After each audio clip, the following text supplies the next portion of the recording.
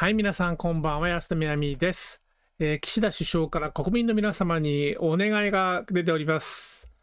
えー納税のお願いが出ておりますね。こちらでございます。岸田首相、納税の呼びかけに批判紛失、確定申告前、トレンドに。ということで、えー何が書かれているかと言いますとですね、自民党派閥の政治資金パーティー裏金事件をめぐる国会審議で、岸田首相が16日に始まる所得税の確定申告を呼びかけた。裏金作りなどに関与した自民党員に脱税の疑いが指摘されているだけに、SNS では納税してほしければ裏金議員は辞めるべきだなどの批判が噴出。納税呼びかけ、確定申告前のワードが一時トレンド入りしたっていうのが毎日新聞に出ております。えーそのぐらいですね、えー刺激的なお話になってますね。まあ、毎日新聞ぐらいだとあのぐらいの、えー上品な 記事になってますが、中日スポーツになるとこんな感じになってますね。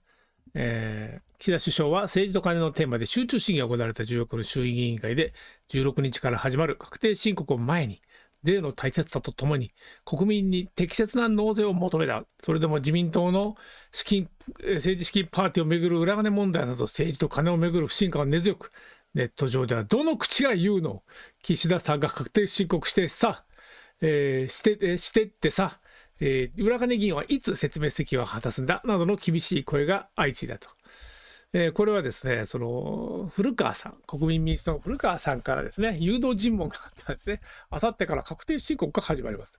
今回の裏金問題は、きちっと申告して納税している納税者の納税意識を著しく失わせるものであって、総理は政府のトップとしてして正しい申告をお願いする立場であるものとして、納税者の皆様に真摯にお詫びする必要があると思うのですが、いかがでしょうかという、えー質問をですね、したわけです。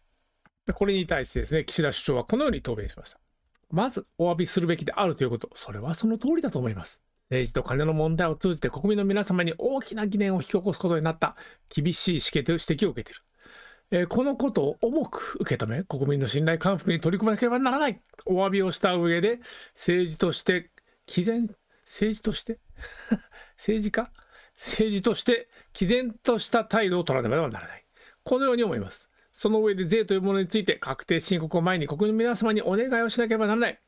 社会に必要とされる公的サービスを皆で分かっちゃうために、生活と財産を守るために、必要な公的サービスを提供する上で不可欠なものとしてぜひご理解いただき、確定申告にあたって適切に納税申告へ当たっていただくようお願いしなければならないと、えー時折メモに目を落としながら、自分の言葉ではなく答弁したと。まあ、それに対してですね、えー X、旧ツイッター上では、え国民の義務である納税の大切さを理解した上で、岸田が、今言ったよ、国民はちゃんと確定申告して納税しろよってさ、みんなどうするよ。こんな岸田閣下で、えー岸田内閣下で納税したくない。裏金議員の顔見たらアホらしくて、えー確定申告用に HD 破壊用の電気ドリル貸してもらえませんか？などやり場のない怒りが溢れたと。いうことですね。それはまあ、ここ、ここすごい大きなポイントでね、しかも、しかもですよ、えーインボイス制という厄介なやつが始まってですね、めちゃくちゃみんな困ってます。えーこれはですね、そもそも、そもそも、そもそも 消費税入れるときに、えー最初からね、えーそういうふうにしとくはずだったんですよ。だけど、えーみんな嫌がってるっていうことで、しょうがない。えー取り漏れ、あの、消費税ね、あの所得の低い人からもう取らないっていうことにして、えーもうそれ、その、もうそういう、それでしかなし、めんどくさい、その、伝票とかじゃなくて、えーざっくりね、あの、年末のその、なんていうの、その、確定申告の時に、えーパッと見て、それでパッと、パッと計算する方法にしますさっつって、導入したんですね。で、それであの、最初はあの3%とかだったじゃないですか。だから漏れても大したことなかったんだけど、10%とかになってくるとね、その漏れてる分だけで1兆円ぐらいある。その1兆円を、1兆円だって 10, 10年だって10兆円ですからね、えーなんとかしないといかん穴が漏れておるということで、えーしかも、あの、食品のね、税率が8%とかいうのがあって、8%とか10%適切に取るためには必要なんですとかいうわけのわかんない言い訳をしてですね、えー導入したわけですよ。で、それでもうね、えー廃業してる人がいっぱい出るっていうなんかあのインボイス制が入ると、えー声優なんかは半分ぐらい廃業するんじゃないかみたいなことになっておりましてですねその時を狙ったかのようにこの裏金問題人々の神経を刺激し始めたわけです。さあ切れますね。で、岸田さんはこのように、えー、答弁しております。えー、自民官僚資金分の納税検討。検討だって、検討なんだって。えー、検討するんだ。ほへえ、税っていうのは納めるかどうか自分で検討していいんだ。へえ、そうなんですね。自民党は派閥の政治資金パーティー収入のキックバック分などを政治資金収支報告書に記載してなかった議員に対し、使途不明などの場合には課税対象として税を納付させる案の検討に入った。案っていうか え？ええその政治資金規正法に従って政治資金収支報告書に入っているお金っていうのはさ政治家個人に入ってるわけですよね。政治家個人に入ってるお金っていうのはあ確定申告しないといけないんじゃないですか？いかなるものでも。それ案とかじゃなくてそういうルールじゃないんですかね？おかしいな税務署さんは何をしてるんですか？一体。で、やっぱ国会議員の方が税務署で偉いんか？いいですね。で、えー、っと、所得税などを想定していると。あ想定って所得税 そんな、何を言ってるのか。もしもし何を言っておられるんでしょうかよく聞こえないんですけど、聞き取れません。えー、所得税などの想定。国会審議で脱税の疑いがあるなどの批判が出ていることを踏まえたもので、国民の政治者の払拭につなげる狙いも、いや、そのね、ちょっとよくよくわかんない、そこ。え？自分のところに入った、だから政治団体に入れないってことは自分で受け取ったってことじゃない。で自分で受け取ったお金ってのは取得ですよね。それ脱所得で計上しないといけないじゃないですか。ほんで、まあ、その中から経費と認められる分は削ってもいいけど、残った部分に対してはちゃんと税率かけて、えー、確定申告しないといけない以外わからないんですけど、案とかさ、検討に入るとかさ、所得税などを想定とかって、パチパチパチパチパチ。他に何があんの？わからん。複数の自民党関係者が明らかにした。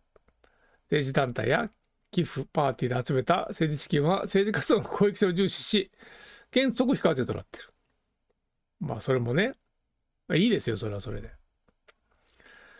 うん、今回は不記載に関して政治活動に使用したのかどうか具体的な使い道を説明できていない議員が多い。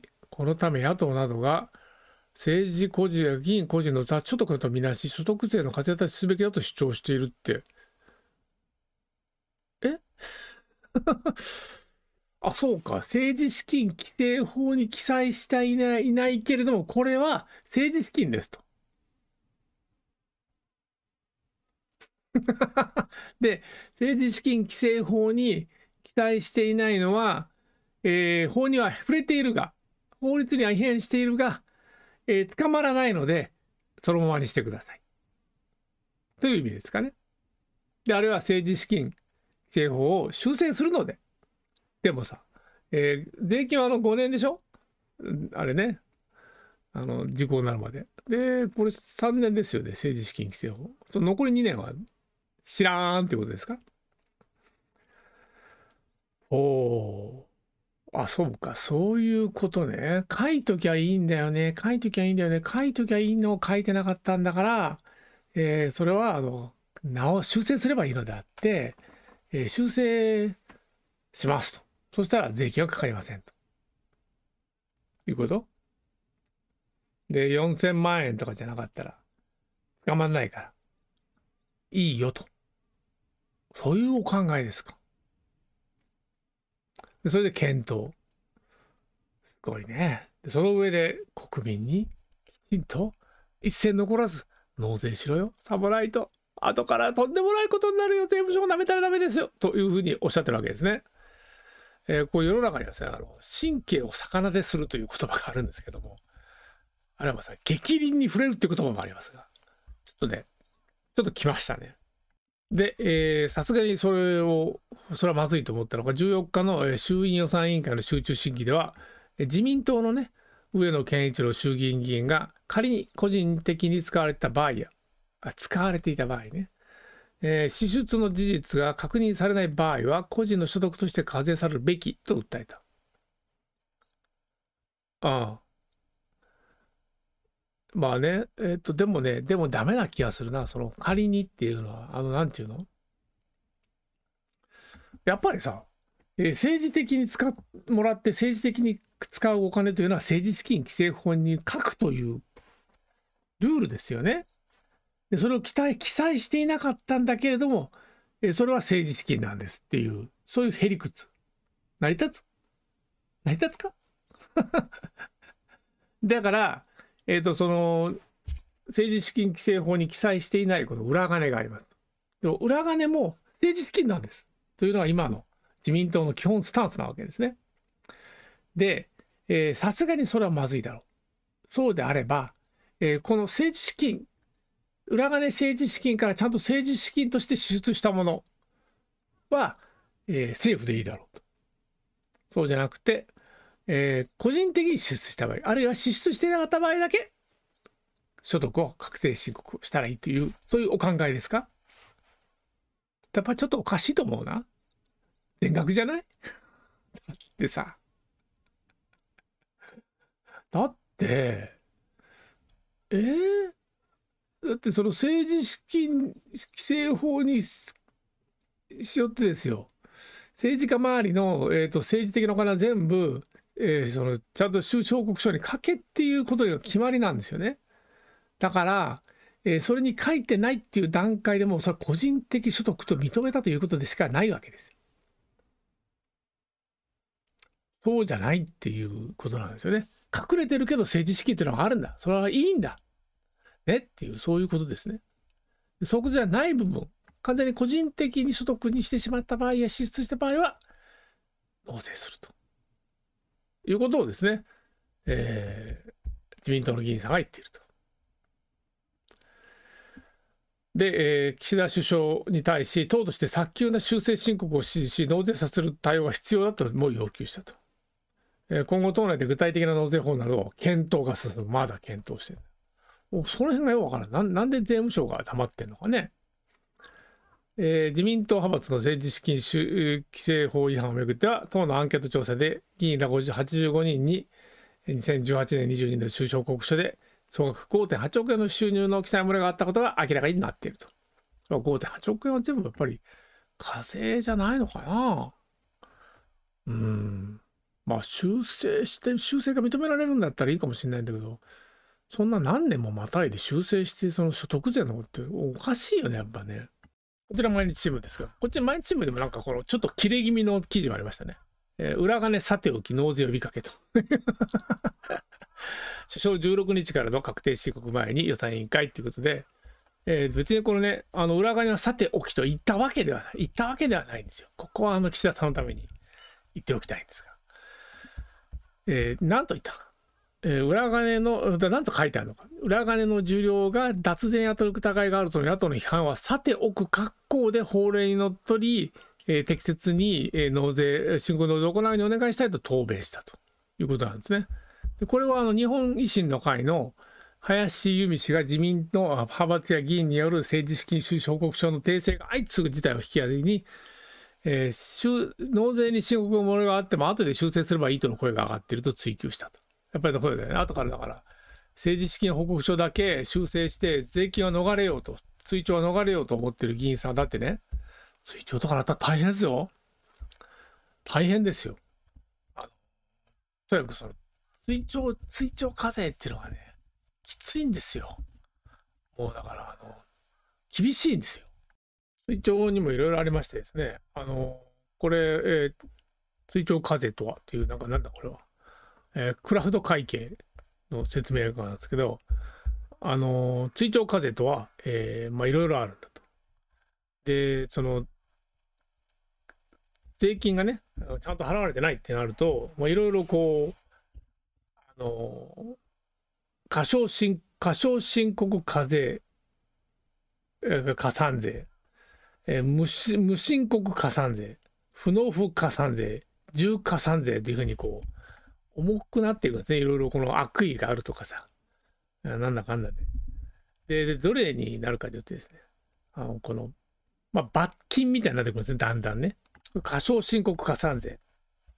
ちょっと払ったんだけど、払ったのちょっとなんか、なんかちょっと少なかったかなみたいな部分は、えー、その、税務調査を受ける前に修正したら税率は大丈夫と。で、税率、税務調査を受けてからやるとですね、追徴税額と50万円のうち、いずれか多い金額までの部分、10%。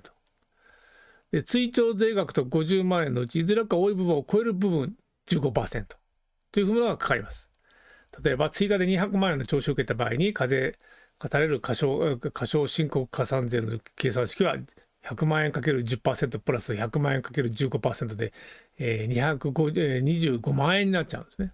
200万円追徴を食らうとですね、えー、225万円になってしまうと。でもこれ一番安いやつなんですよ。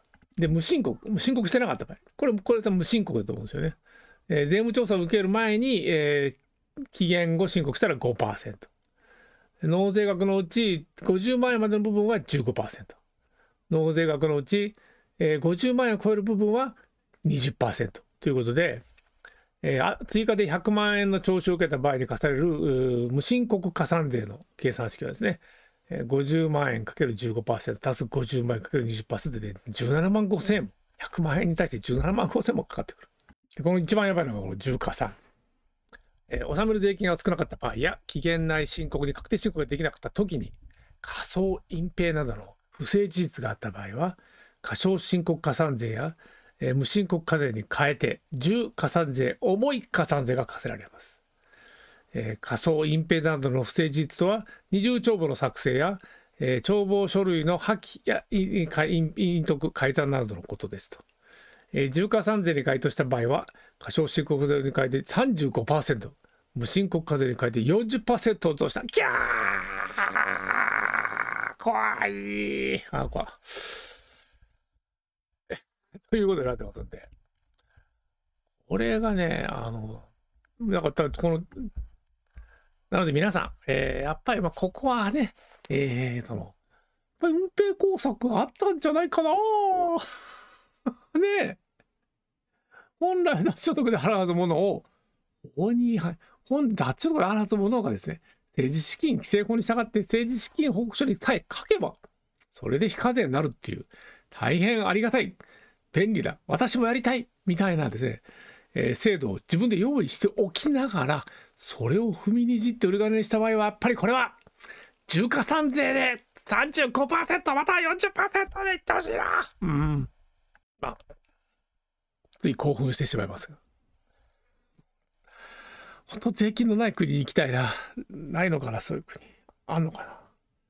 あ税金さえなければどんなに楽なのだろうか。ね、無税党って作りません。あの、ここ税金を廃止しましょうっていう、税金を廃止。国民を全員納税免除にしますっていう党はどうですかね。さすがにそういう人には投票しないのかな。でもね、なんとかなるんじゃないかって気もするんですよね。あの 何を言ってんだと思われるけど、確かに。あの、産油国、サウジアラビアとかあの辺税金取ってなかったって昔聞いたけどね。えー、国が自分で稼げばいいんですよ。国の持ってる資産を、だってさ、なんか何百兆円とか資産があるじゃないですか。あれをちゃんと運用してですな、えー、税収なんてケチなことしないで自分で国が稼ぐ。国民は税金を払わなくていいっていうふうにしたらですね、世界中から金持ちが集まってきますね、日本にね。そしたらなんかまあ、あの、いいかもしれない気もしますけど。えーと、まあ、とにかく、このとおかおかしいと思うよ、やっぱり。そもそもさ、非課税なんですよ、政治資金は。非課税にする代わりに、きちんと書け。書くだけでいいんだからって言ってんのに書かないんですよ。そんなやつは重加算でしょう。で、裏金といえば、二階敏郎、裏金キングですね。えー、何がまずキングなのかというと、まずやっぱり何と言っても幹事長をですね、5年もなさって、毎年10億円ポッケないない来たわけですね。自民党から10億円ずつですね、あの、なんか政務活動費とかいうやつをもらって、それはですね、公にしなくていいっていうお金。なんでそんなもんかわかんないですけど。50億円ですよ。しかも、二階派。二階派やばいよ。安倍派は、安倍派はですね、政治資金パーティーのノルマ超過分は、各議員に渡して裏金にしてたわけです。二階派は違いますね。二階派は、えー、超過分はですね、あのー、党に入ってた。例えば、派閥の事務所の方に入ってた。裏金が。でそこにどんどん溜まっていったんですよ。で、各議員に配ってるのも悪いけど、自分とこに溜め込んでるのも悪くないですか？ていうか、そっちの方がなんか怖い気がするんだけど。だからまあ、あの、検察がね、金額が少ない、法少ない二階派にですね、かなり厳しく踏み込んでたのは、二階さん狙ってたんだと思うんだけど、えー、その、その裏金を派閥の方で溜め込む方が、立ち悪いよねと思ったんじゃないかと思うんですよ。まあ、つまり、二階さんポケットに入ってたわけね。だから、その意味で、やっぱりダブル裏金キングと言っていいのではないだろうかと思うわけですが、その二階さん、書籍代問題がありましたね。3500万。3年間で3500万円も本買ってる。すげえな。なんという読書家だって、清水優子ですらそんなに買ってませんよっていうね。すごい。何買ったのかっていうのを明らかにしました。そのリストが結構受けます。こんなふうに言ってますね。えー、自民党の二階俊博元幹事長が代表を務める政治団体が3年間で書籍代3472万円を支出したことについて二階氏の事務所は14日選挙区外の行政議員関係者らに配布し政策候補に努めるためだったと説明したと。これね選挙区外の 選挙区外のって書いてあるのがすごい大事なんですよ。選挙区内のあ有権者に金品を配ったらお題になります。たとえ本でも、金品ですね。だから、選挙区内の皆様に配ったんだったら、えー、その、買収になる恐れがあるわけですよ。例えばだから、これがだから本でなくてね、えー、ウニとかさ、カニとかだったらアウトですよね。実際あの、カニ配ってアウトになった方がおられましたね。それですね、自民党、東京9区のですね、菅原一秀、これ大臣やってましたけども、このウィキペディア見るとすごいね、あの、改めてちょっと感動いたしましたが、まあ、結構とんでも、とんでもない とんでもねえなと思いますけど、まあ、この方がですね、えー、2021年公職選挙法違反容疑を受けて、えー、衆議院議員を辞職し、同年同法違反により公民権停止3年等の有罪判決が確定したと、まあ、そういう事件です。えー、この菅原さんはですね、あの何をしていたのか。っていうと、えー、地元のね、あの、地元選挙区で有権者に現金、現金配ったのすごいな。現金を配るなどして、東京、えー、関関西から公職選挙法違反の罪で罰金40万円、公選権停止の3年の抑止、抑止、えー、命令を受けた、えー、菅原一秀前産業、経済産業大臣の有罪が確定したっていう記事が出てますね。で、この人はですね、あの2018年から19年、東京空港の33団体と26人に、えー、地方行事への祝儀や祝儀や香典名目で計57万円を渡した。ああ、ご祝儀ね。他、えー、祝い花、なんて読むのかな。いや、個人の枕元に語る枕花、計27万円相当を配ったと。あれ？カニも配ったんですよね、この人ね。カニね。えー、これそれはだから、えーと、立件されなかったのかな？まあ、これがこの菅原さんがあのやられる、えーと、スクープだったですね、週刊文春があのお香典をいっぱい渡したりしてるところを撮影したりしてたんですね。ちょっとその時は知らなかったけど、まあ、それで結局、その、えー、議員辞職、そして、えー、これ全然やめなかったんだよね、しかもね、なんか社説で批判されたりしてますね。まあ、そういうわけで、その、だからじゃあ、加入がなんかギリギリセーフなのかな？まあでも少なくともですね、その話があれでしたけれども、二階さんが選挙区外の皆様に渡すためだけに本を買いましたと言ってるんですよ。これね、えー、選挙区外の行政議会関係者に配布し、政策広報に努めるためだったと説明した。ということで、信じるみんな。信じる？えー、まあ信じましょうか。あのー、で、書面での説明によれば、購入したのは17種、計、えー、2万7700冊。2万7700冊。配るだけで大変ですよ。選曲外でしょ。郵送すんの。1件1000円かかったら、2770万円かかりますよ。そんなに送料計上してる？ん？で、その、二階氏が推進する国土強靭化などの政治活動を紹介する目的で出版されたものと、与党の政治家から紹介されてまとめて購入したものに、まあ、これ頼まれたのね。で出版記念会を開催し配布する予定だったがコロナ禍で開催に至らなかった。あっただけ。積んである。本当？裁断した？まあ、何を買ったナンバー2の美学、二階俊弘の本心、えー、大中、なんて言うんだろう、これ、監修、えー、林慶信氏著、5000冊、1045万円。これがあれだな。あの、一番金額大きかったやつね。あの、ナンバー2の美学って出たね。えー、政権奪取必至。これは大下英二。3000冊。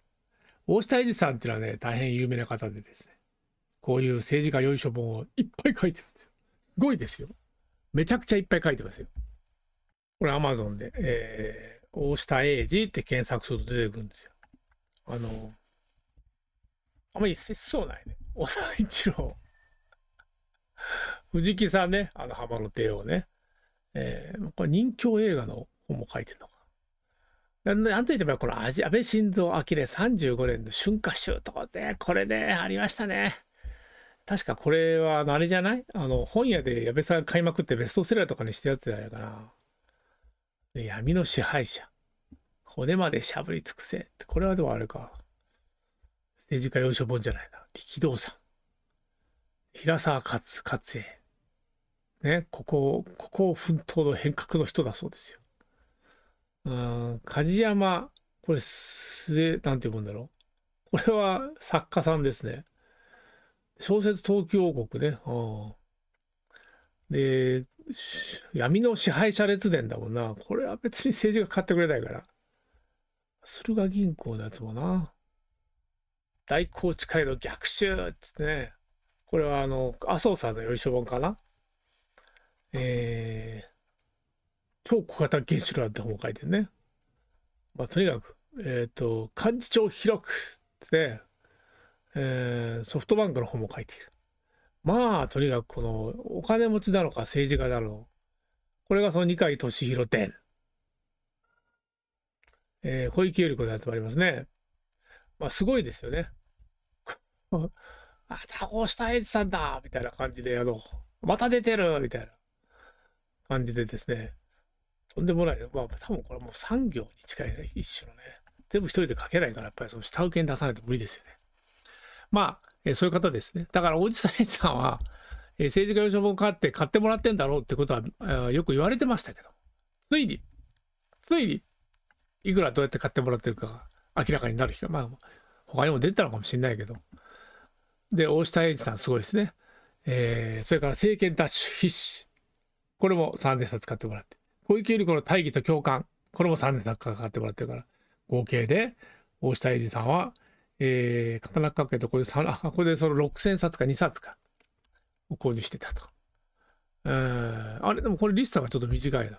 これね、えー、日刊スポーツのリストが出ておりました。えー、っと、これ、本の帯に、えー、歴代秘話とある二階氏の生き様に触れたナンバー2の美学が5千冊。1045万円と冊数、購買数とこに最多。えー、信仰が深い東京都の小池百合子知事に関する小池百合子の大義と教科も3000冊。396万円と購入されていた。で、えー、事務所はですね、あのー、籍名や冊数、価格、領収書や銀行に振り込んだ際の伝票を公開するとともにコメントも発表。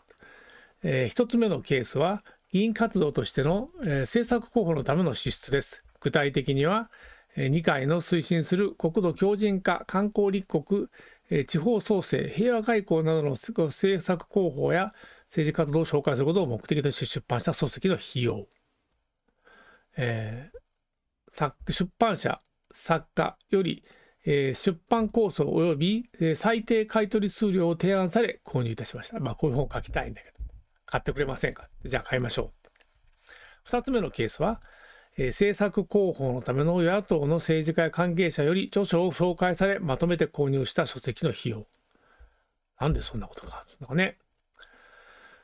で、えー、さっきとあれですね、さっきに出て、朝日新聞に出てたやつですね、あの、選挙区外の行政や議会関係者、関連する政策を進める関係者などに配布し、政策候補に努めて,、ま、努めていますとし、今回記載漏れによりご心配と不信感を与えてしまったことを深くお詫び申し上げます。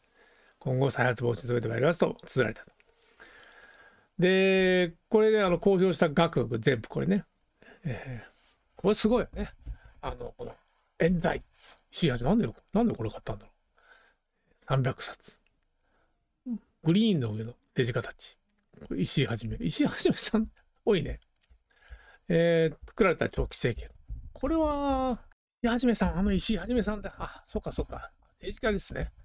えー、この方は、えっ、ー、と、自民党じゃなかったあ、そうね、自民党から新政党、新進党、国民の声、民政党、民主党っていうふうに、って方ですね。だから二階さんもやっぱり一回出たりしてるので、あのまあ同志だったんだな。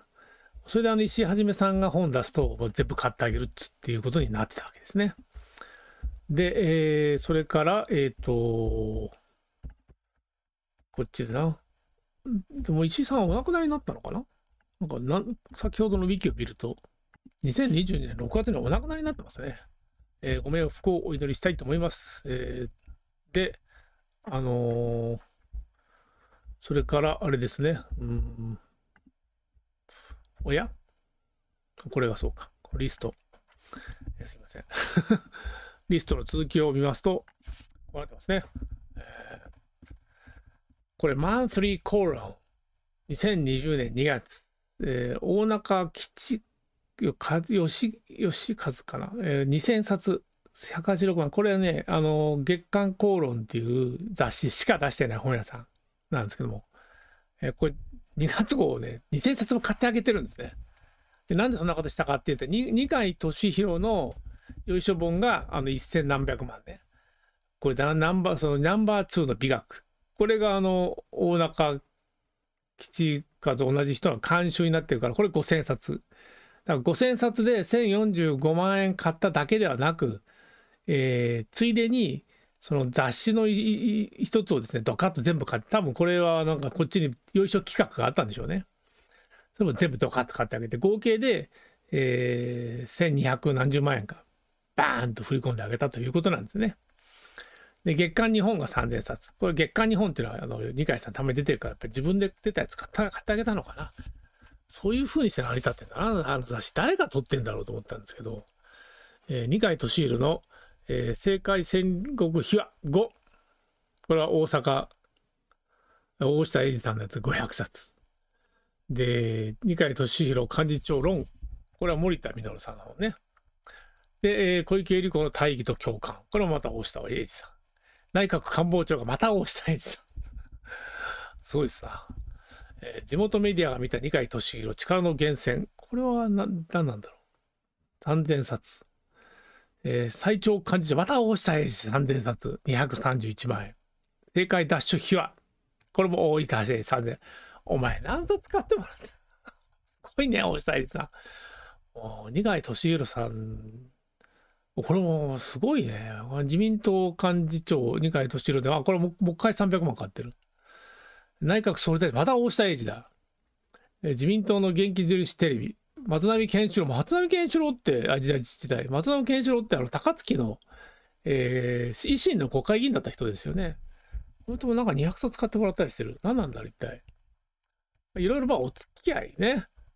皆さん、え、これ見てね、えー、腹立った立てないといけないです。なぜかというとですよ。これ自民党というのはですね、えー、その収入の7割が税金です。で、二階さんにバーンって50億円払ってるやつだって税金なんですよ。で、二階さんのこのにもですね、多額の、えー、政治資金がやっぱ入ってるはずなんで、このね、よいしょ本買いまくってるやつを何割かは税金なんですよ。その税金が大下栄一さんにバーンって流れてるわけですね。ちょっと腹立ちません？いいのか？それ公表すればいいって問題か？気になりますね。本当にこういうことでこう大盤振る舞いしてあげて、えー、自分の周りにこう人を集めるみたいなこと。それでいいのかと、政治家というのは。そんなことでいいのですか？ねえ。今後のですね、岩塩というところにですね、こういうのが出てます。えー、思考、性を問うと。死曰く。えー、食足らず、兵足らず、民の心。えー、すみません、間違えました。食を足り、食を足り、食足り、えー、兵足り、えー、民、これに、これを信ずと。えー、思考曰く、えー、必ずややむを、必ずや、えー、やむを得ずしてさらば、えー、この三者において何をか先にせんと。だから、えっと、まあ、政治とは何ですかって言ったら、まずはその空母のが足りて、それから兵が、兵力が足りて、国防ができて、それで民が、えー、信頼すると。これで政治は成り立っとるんだというふうに言うわけですね。で、その思考っていう弟子がですね、えー、どうしてもしょうがないとしたら、どれを、どれを諦めたらいいですかこの3つのうちで、一番最初にっていうふうに聞いたわけですね。そしたらですね、兵を去ると。軍事力はもう諦めろ。で、で残ってるそのその食と芯がで、しょうがない、どうしようもなくって、えー、や諦めるとしたら、この2社において、いずれを先にせんと。えー、つまり食と心とどっちを先にしたらいいですか？諦めたらいいですか？えー、いわく、食をさらん。だから、いにしえより皆しあり、えー、民心なくんば立たずというふうに言ってるましてですね。えーつまり生活が成り立たなくなってもいいから信用は維持しろ。どうやって実践かよく分かりませんけども、とにかくその、あの、何よりも重要なのは、国民の生活、国防、そして信頼、政治への信頼のうちですね。えー、どうしようもない、どうしようもないっていう状態で諦める、一番最初に諦めるのは軍事力。次が食。何としてももう食べなくてもだから国民の間にですねどんな悲惨な事態が発生してだからいずれにせよ死ぬんだと食べられなかろうと食べていようがねだから、えー、食を去ってもあいいから、えー、信頼は維持しろと。どうやって維持しかよくわからない。でもとにかくその信っていうもの政治がね政治への信頼がなくなったらもう民は立たないんだっていうのは、立つっていうのは多分ですね、やっていけるとかいうことではなくて、えー、国家としての形態を維持できなくなるんだって意味ではないかと思うんですけれども、なので、その、政治に対する信頼っていうのは、えー、国防よりも、あの、生活よりも大事なんだ。食事より大事なんだ。というふうに言ってるわけですね。で、社会というのは、え、ー、と、まあ、この、私のですね、えー、経済学じゃ複雑さは生きるという本の中で、えー、論じておりますけども、コミュニケーションでできています。人間がで、人間が集まったら社会ができるんじゃないですよ。人間と人間の間のコミュニケーションが私たちの社会の要素であって、これがある、安定したパターンを作ってるってことが、社会がそこにあるということなんですね。だから、え、コミュニケーションの質というもの、そしてその活発さというものが社会にとって一番大事なわけです。で、この信、信頼ができないっていう状態が生まれるとですね、えー、その大変怖いことになるわけです。コミュニケーションの質っていうものが成り立たなくなるわけですね。疑心暗鬼というやつになります。そうすると人々は口を閉ざし始めたりする。そうなるとですね、えー、コミュニケーションが活発かもしれない。そうすると、社会の要素というものが、その質が低下する上に供給されなくなるということになります。で、個々バラバラの人間が集まってる恐ろしい事態になると、社会は崩壊してしまうんですね。これが、えー、民、真仲間だ、立たずということの意味だと思うんですけれども、えっ、ー、と、この今回のこの様々な出来事というのは、その真を直撃しているってことが怖いところですね。だから、えっ、ー、と、このここをですね、えー、攻撃されるとですね、あの、秩序がバラバラになる。で、実際だから、税金払いたくないよね、みんなね。払うの嫌だけど、確定申告するわけですよ、我慢して。だけど、ここまで来るとですね、ふざけんなてめえっていう、こう、みんなの怒りがですね、あのー、とんでもないことに、どこに行くか分かんないよね。蓄積してますから。そのですね、爆発が一体どこで起きるのか分かんないよっていう事態が、日々、刻々と近づいてきているわけです。そしてここに、これ NHK の記事ですと、全くどうでもいいけど大事なジュースが流れていました。全くどうでもいいけど大事なジュースなんですよ。意味わかんないけど、全くどうでもいいんですけど大事なジュースなんです。何が全くどうでもいいかっていうと、岸田首相在任期間14日で864日に鈴木善光元首相に並ぶ。内閣総理大臣は自らの在任期間が出身派閥の先輩にあたる鈴木善子元総理大臣に並ぶことについて、国内外の課題に全力で取り組む毎日で在任活動が全く念頭になかったという認識を示しました。2021年10月に就任した岸田首相は在任期間が14日で、えー、864日になります。おめでとうございます。もう1日超えました、鈴木善光さんを。自身が会長を務めた自民党の宏池会出身の鈴木善子元総理となります。これについて岸田首相大臣は13日夜、首相官邸で記者団に対し、能登半島地震への対応や政治の信頼回復、賃上げやデフレ克服、さらに緊迫する国際情勢の対応といった先送りできない課題に全身全霊で取り組む毎日だと述べました。その上で、取り組みの積み重ね、その都度その都度の判断に精一杯思いを恵まれせる毎日が続いている。在任間期間については何も考えていなかったと述べましたと言ってますが、えー、考えてるんですよ。えー、そのなんとかね、宮沢この高知会の中で一番長かったのは、えー、誰なんだ？えー、ちょっと忘れたけど、まあ、とにかくその2番目の鈴木善光さんまでは、あの電柱までは走るぞ、つってね、あの、君原さんみたいに。えー、あの、鈴木善光までは走るぞ、つってこう一生懸命走ってたんですけど、鈴木善光さんを超えたんです。で、これでね、多分、えっと、岸田さんはね、ちょっともう、あ、はあ、超えたってなってると思います。なので、間もなくね、あの、こと切れる可能性はポチッとプチって切れても、あ、もういいや、つってなる可能性がありますね。なので、えっ、ー、と、この鈴木善光の記録を乗り換えたということによって、えー、大きな動きがですね、この内閣に起きる可能性が高まってまいりました。なので、えー、ここから1、3週間かな、また、まあ、でも、このさすがに予算を成立させるところまでは、まん頑張って、そこでやめるっていうパターンかもしれませんが、えー、自民党のですね、あの、首のすげ替えが起きる可能性が出てきているなっていうふうに思っています。まあ、そういうわけで、あの、そういうさまざまなですね、コミュニケーションの根幹に立つ部分をですね、自民党が攻撃してきていると。これをなんとかしないとですね、えー、この国家システムそのものに大きな影響がありますよということを、えー、この本の中で論じておりますので、ぜひですね、えー、私の、これ、あの、岩の三つ点から出て、絶版になっていたものを清水さんと解説動画10時間をつけて復刊し、さらにですね、私自身の一人で語るバージョン2というものを販売しています。えー、買い方はこちらに出ております。こちら、えー、そのショップに出ておる様々な、えー、私のあの商品ですが、これ、一月マーツのホームページにいただくと見られますので、私はですね、二階さんが3000冊まとめて買ってくれたりしないんですよ。皆様が頼りです。えー、ぜひ、えー、買って、そしてこのですね、骨をしゃぶり尽くすぐらい私の本のですね、内容を、動画を見て本を読んで理解していただければですね、え必ずや皆様のですね、人生の指針、生き方、えー、判断の基準としてですね、お役に立つものと信じております。じゃどうもありがとうございました。